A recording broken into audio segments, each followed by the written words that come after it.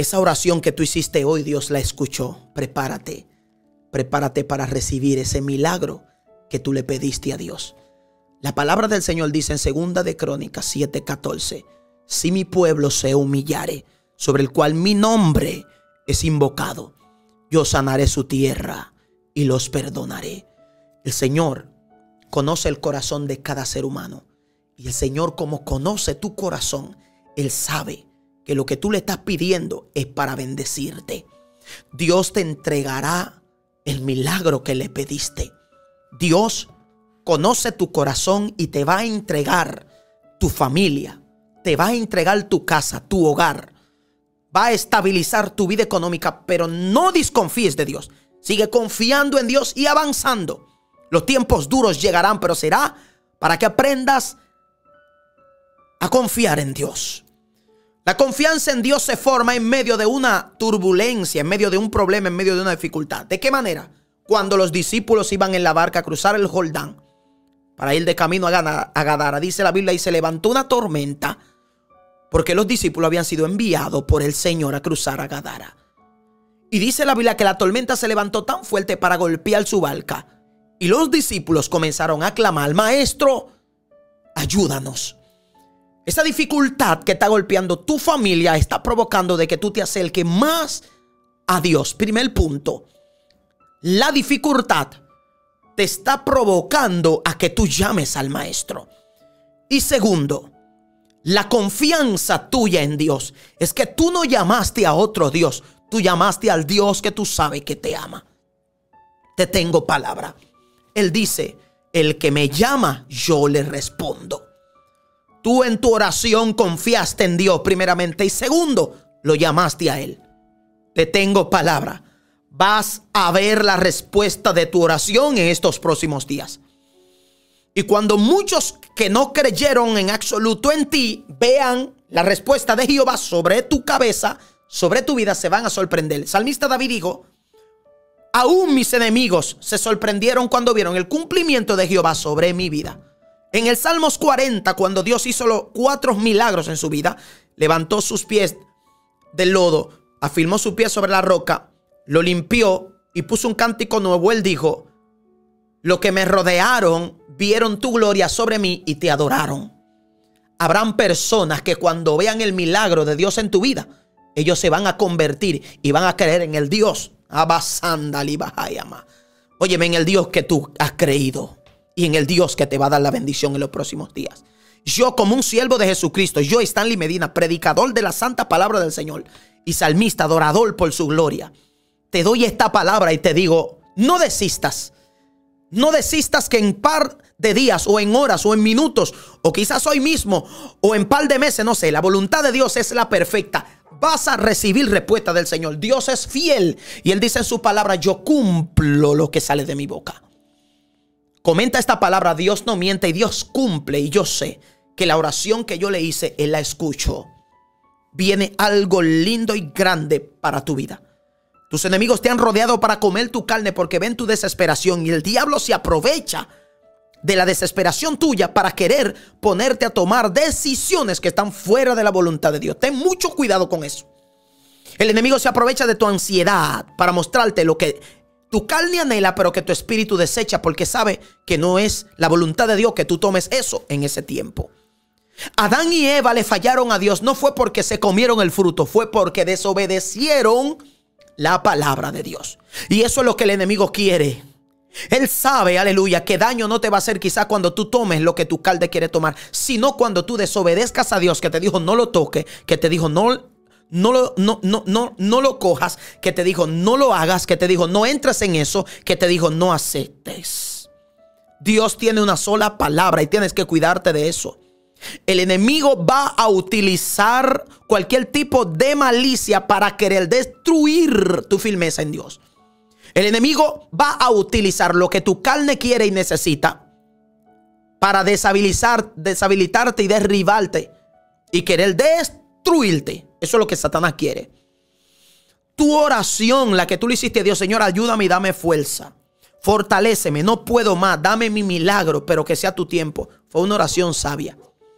Nunca ores a Dios diciéndole, yo quiero que acontezca ahora. No es que no eres tú que sabe. De hecho, tu desesperación no va a mover a Dios. Siempre te digo, lo que va a mover a Dios será tu fidelidad en medio de tu desesperación. Dios sabe lo que tú necesitas y sabe lo que tiene que darte. Tú y yo no sabemos nada. El que sabe es Dios en nuestra vida. Te tengo palabra. Dios va a sorprenderte porque tú eres su hijo y Él a ti te ama. Él sí te ama de verdad. Y tú has dicho, Señor, pero si tú me amas, ¿por qué yo estoy pasando por esto? Hay una razón. Alguien falló, alguien pecó o hay un proyecto de Dios sobre tu vida. Quizás no fue que tú fallaste. Quizás no es que tú estás en pecado. Quizás es el proyecto santo de divino de Dios que se está por cumplir sobre tu vida. Tú le oraste a Dios. Ten paciencia. Tú clamaste. Espera. Tú llamaste. Él te va a responder. Tú tocaste. Él te va a abrir la puerta. El salmista David dijo, yo pacientemente esperé a Jehová. Eso es lo que muchos no queremos, esperar en Dios. Esperar en Dios muchas veces es fuerte, es doloroso, pero vale la pena. Esperar en Dios cuesta sacrificio. Hay que tener valor, hay que ser guapo para esperar en Dios de verdad. Hay mucha gente que dice, no, porque yo estoy esperando en Dios, pero con el mazo dando. Eso no es esperar en Dios. Eh, tú crees que tú estás esperando en Dios, pero tú no estás esperando en Dios. Esperar en Dios es sufrir el momento, cada instante, cada segundo, por no fallarle a Dios esperando en Él. Ahora yo tengo una palabra. Cuando llegue la bendición, tú te vas a reír solo. Porque lo que Dios da, lo da bueno. Comenta esta palabra. Yo voy a esperar en Dios porque lo que Dios da, Dios lo da bueno.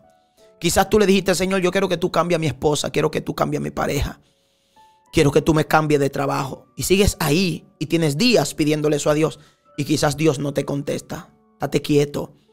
Dios sabe en el momento que va a contestar. Y cuando Dios conteste, muchas veces Dios no contesta con palabras. Mayormente Dios contesta con hechos. Y cuando tú ves el milagro, vas a glorificar a Dios. Y muchos van a decir, wow, pero el Dios tuyo te ama. Mira cómo te respondió. Mira cómo te, te bendijo. Mira cómo te entregó tu familia. Mira cómo te entregó tu milagro. Hay mucha gente que creen que Dios no está contigo o que Dios no te escucha. Tú mismo has llegado a pensar que Dios no te escucha.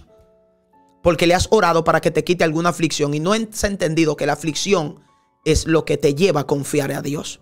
El apóstol Pablo dijo a los corintios, Dios ha puesto un aguijón en mi carne, un mensajero de Satanás para que me abofete cada vez que yo quiera gloriarme. Porque si me, tengo, si me quisiera gloriar, tengo que gloriarme en nuestro Señor Jesucristo que me ha cambiado y me ha transformado. Por eso cada día golpeo mi cuerpo ayunando y orando y buscando la presencia para que no sea yo una víctima de mi carne que me lleve a pecar y a fallar delante del Dios que me libertó y me hizo un nuevo hombre para predicar su santa palabra. Y le dijo a los corintios, el aguijón que Dios ha puesto en mi vida abofetea, me abofetea en cada momento cuando yo quiero enaltecerme, viendo las grandezas que el Señor hace a través de mí. Porque toda la gloria es de Jehová, entiende eso, no tuya, no de lo que te rodean, de Dios. Siempre glorifica a Dios. Hay aguijón que Dios ha puesto en tu vida, pero es para levantarte. Escucha palabra de Dios, que Dios te ama. Hay procesos que Dios ha traído a tu vida como un aguijón, simplemente para él sacar la mejor versión tuya. Pablo dijo, este, este aguijón me abofetea cada vez que yo quiero enaltecerme, pero yo le he pedido a Dios tres veces para que lo quite de mí, tres veces. Y el Señor me ha dicho, Pablo, Pablo, bástate en mi gracia. Porque mi poder se perfecciona en la debilidad. No en tu debilidad, en la debilidad de cualquier hombre o de cualquier mujer. Te incluyó a ti también. El Padre te incluyó a ti. Él sabe que tu debilidad es fuerte, pero Él es más fuerte que tu debilidad. Y ahí en tu debilidad que Él se hace fuerte. ¿Qué significa eso, Stanley? Que cuando tú piensas que a veces Dios no te está escuchando, viene el proceso y te acerca a buscar a Dios y escuchas claramente la voz de Dios. Que la aflicción que tú estás pasando es el aguijón que te va a llevar a buscar a Dios cada día. Que si no hay una aflicción, entonces no vas a buscar a Dios. Que si no hay un proceso de escasez, entonces no vas a depender de Dios. Que si no hay una dificultad, entonces te olvidarás de que Dios te ama. Quiero que comentes esta palabra. Señoras, conmigo lo que tú quieras.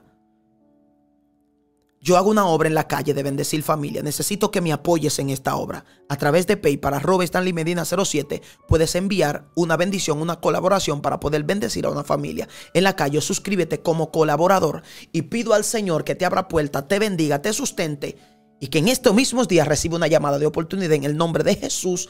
Amén. Voy a hacer una oración ahora por ti.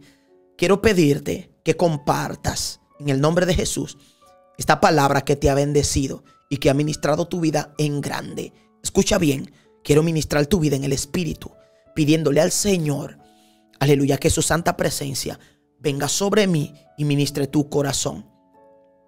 Ahí en ese lugar que tú estás, ahí mismo es que Dios te va a bendecir. Compártelo. Compártelo en tu perfil, compártelo en un grupo, compártelo en un grupo de WhatsApp familiar.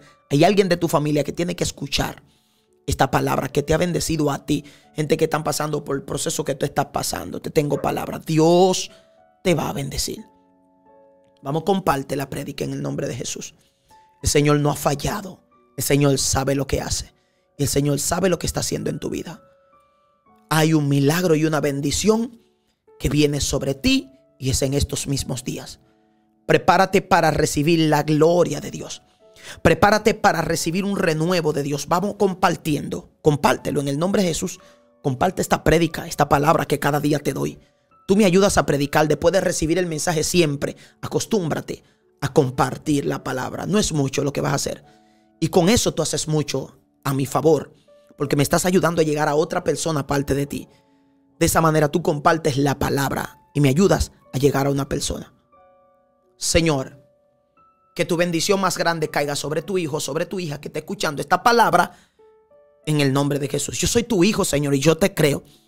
Y yo sé que tú tienes grandes cosas maravillosas para nosotros. La oración que hoy tu hijo hizo, yo creo que tú la escuchaste.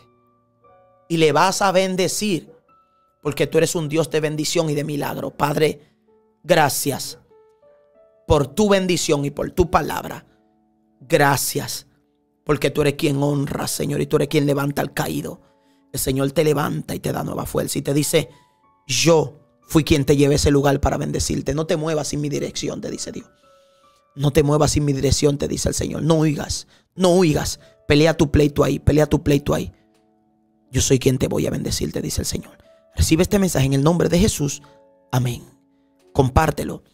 Y para bendecir el ministerio, para yo poder bendecir a una familia, porque cuando tú me bendices, me honra a través de PayPal o te suscribes como colaborador, lo que entra a mi ministerio, yo hago algunas compras. Hay video en la plataforma. Hago algunas compras y se le envío a una familia para que pueda ser bendecido en el nombre de Jesús. Dios te bendiga.